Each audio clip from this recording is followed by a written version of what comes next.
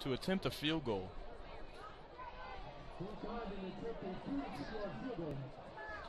Will be a pretty deep field goal, about 41 yards for Iden. Trying to get the Eagles on the board midway through this second quarter.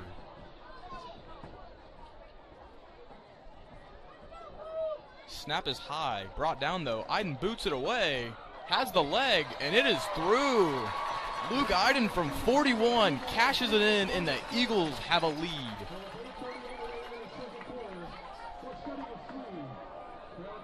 That ball was absolutely booted well through the uprights. Probably good from about 51.